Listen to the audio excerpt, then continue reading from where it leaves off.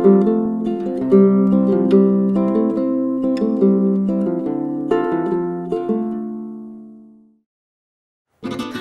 I'm Jasmine Modi and today we will talk about detox.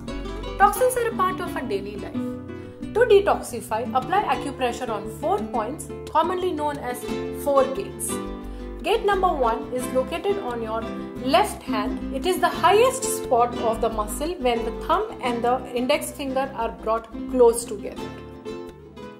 Similarly, locate the point on right hand which will be gate number 2. Gate number 3 is located at the junction where the bones of first and the second toe meet. Similarly, locate fourth gate on right foot.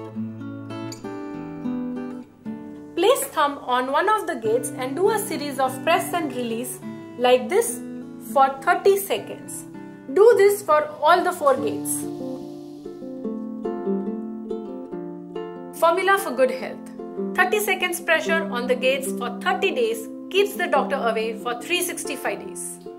Acutip of the day. Spring is the best season for detoxification as during this season body pushes its energy to the outer layers and it's easier to remove toxins.